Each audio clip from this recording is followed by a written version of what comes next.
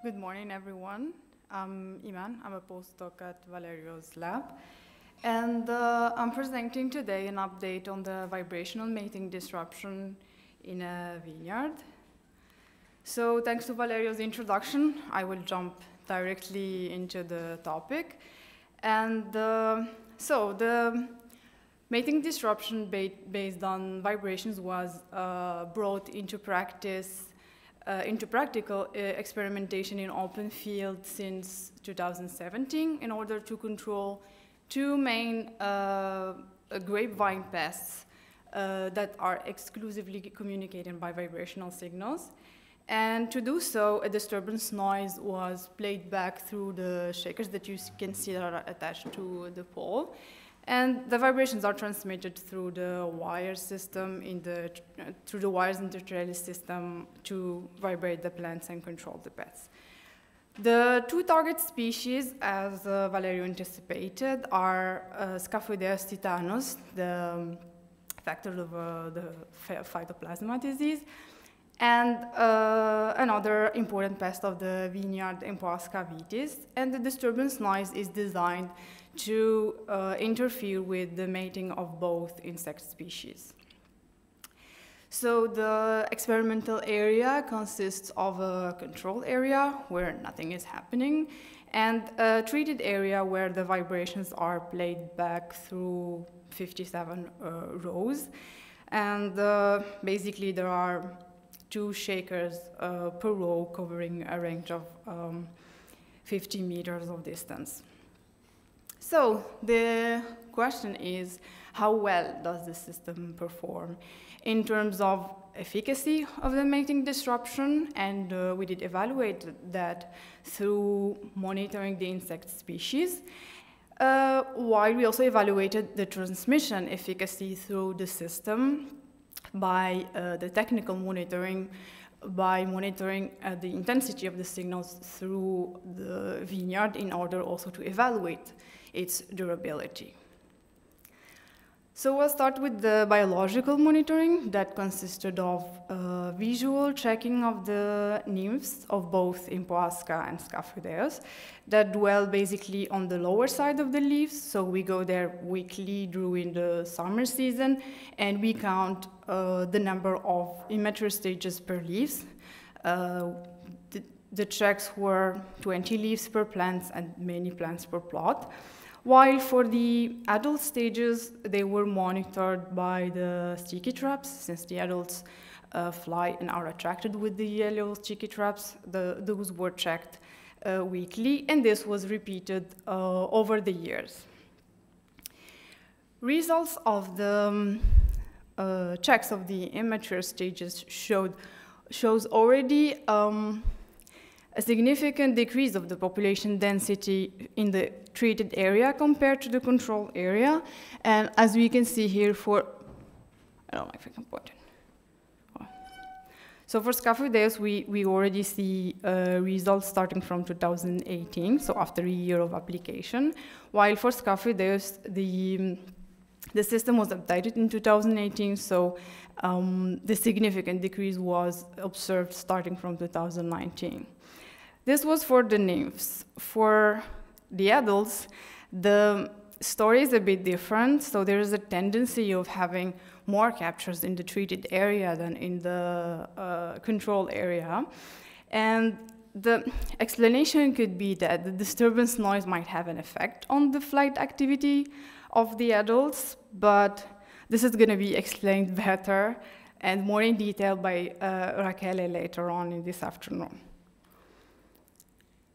Um, then, for the technical measurements, we measured the intensity of um, the disturbance noise along the wires, so at increasing distances from the source point, that is the shaker, but also we did measure a bit the intensity through the plant to see how um, it is um, varying.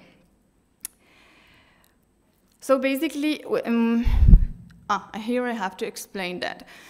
The system is we have a pole and there are wires going through holes that are in the pole and those wires that are a bit thick, but then we have thinner wires that are a bit um, hooked to the uh, pole and they are touching it. So we also wanted to see if there is a difference between the, the two levels of um, wire thickness.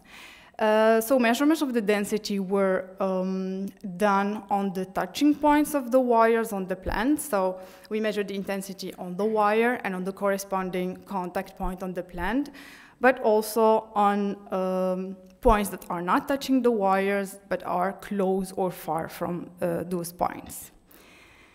And yeah, as we might expect, the intensity drops already if we go on the contact points from the wire itself to the point, to the corresponding point on the plant, and we already lose something like 30% of the, uh, of the average intensity.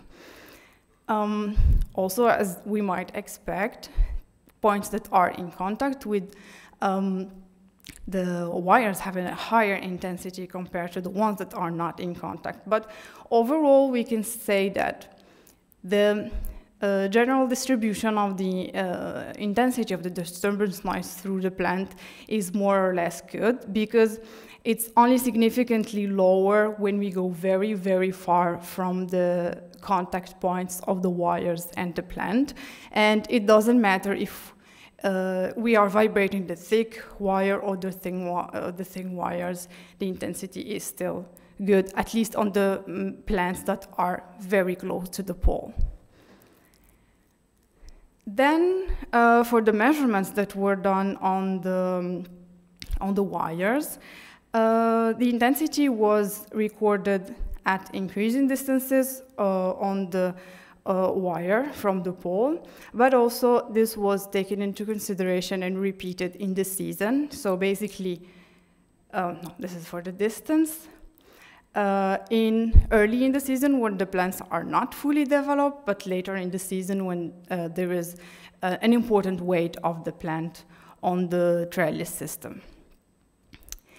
And uh, so here we can see the results of um, that were uh, carried out uh, on uh, early in the season when the plant is not fully developed, uh, here in orange. And in blue, we can see already the effect of the weight of the plant.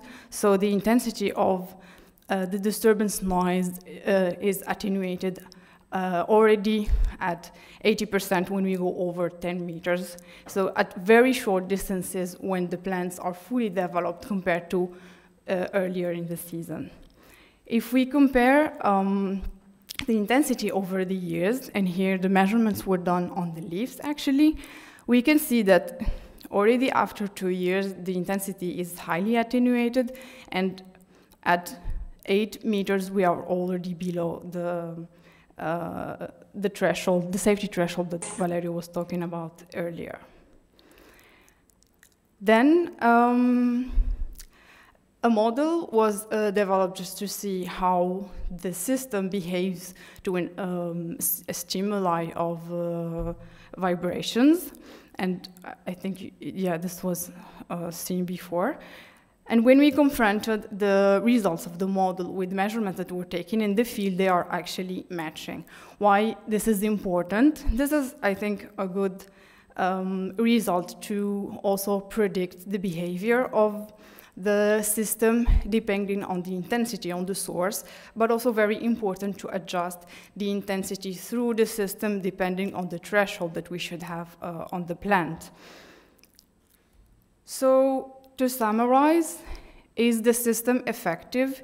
Yes, because it is able to, do, to reduce the population density of both target species, but we have to take into consideration the distance from the source point of the vibrations, the weight of the plants, uh, but also the um, um, progress uh, over the years because the system might need maintenance in order to uh, guarantee and ensure um, the safety threshold that is a very important component for the disruption of uh, uh, the insect species that we are targeting. What are the perspectives? We would like to model also the transmission of the vibrations through the plant, so at least we know um, at, at, very uh, different distances from the source points of the vibrations, how is the intensity, And as Valerio stressed before, uh, it's important to know if we have spots on the plants where the intensity is low or we, where it's not covered very well by vibrations and insects might go there and mate. And ultimately, actually, it would be uh, important if uh, sensors can be integrated in the system and this way it can monitor itself so wherever you have a problem of a drop of intensity below the threshold on that part of the system it can alert you and you go there and you fix uh, the problem but yeah this is um, this is a, a goal for a, for a smart uh, integrated pest management system that might be um, possible in the future. And uh, for that, I would like to thank everybody of the group that participated in, uh, this, the, in the project. Um, I would like to thank all the technicians that helped in the monitoring of the leaves in these cheeky traps over the years. And uh, we should thank also our funding buddies, and I thank you for your attention.